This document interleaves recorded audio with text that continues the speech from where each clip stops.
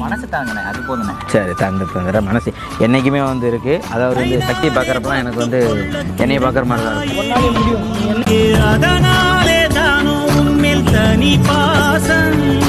உனக்குள்ளே என்னை நீயும் அடை காக்கும் அன்பை பார்த்து வருங்கால நட்பும் கூட நம்மை பேசும்.